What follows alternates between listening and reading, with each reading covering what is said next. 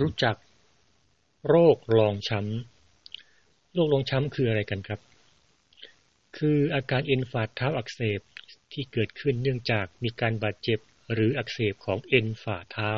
บริเวณที่เกาะกับกระดูกส้นเท้า ซึ่งเอ็นฝ่าเท้านั้นจะยึดจากกระดูกส้นจากกระดูกส้นเท้าไปยังนิ้วเท้าทำหน้าที่ช่วยรักษารูปทรงของเท้า และยังทำหน้าที่เหมือนสปริง เพื่อช่วยลดแรงกระแทกเมื่อเดินหรือวิ่ง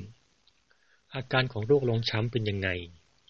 ผู้ที่เป็นโรคเอ็นฝ่าเท้าอักเสบจะมีอาการปวดและกดเจ็บบริเวณส้นเท้า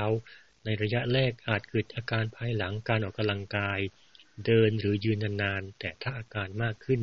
ผู้ป่วยจะรู้สึกปวดส้นเท้าอยู่ตลอดเวลา ลักษณะเฉพาะของโรคนี้คือเมื่อลุกขึ้นเดินสองถึงก้าวแรกหลังจากตื่นนอนในตอนเช้า หรือหลังจากนั่งพักขาเป็นเวลานาน จะรู้สึกเจ็บบริเวณส้นเท้า เนื่องจากเกิดการกระชากของเอ็นฝ่าเท้าที่อักเสบอย่างทันทีทันใด แต่เมื่อเดินไประยะหนึ่ง เอ็นฝ่าเท้าจะค่อยๆยืดหยุ่นขึ้น อาการเจ็บส้นเท้าจึงค่อยๆทุเลาลง การบริหารที่ช่วยบรรเทาอาการทำยังไงบ้าง ก็มีวิธีง่ายครับ โดยการใช้ขวดน้ำทรงกลม ใส่น้ำสามในสี่ส่วน เหยียบทับแล้วก็ใช้เท้ากลิ้งขวดน้ำไปมา พื่อให้กล้ามเนื้อใต้ฝ่าเท้าได้ยืด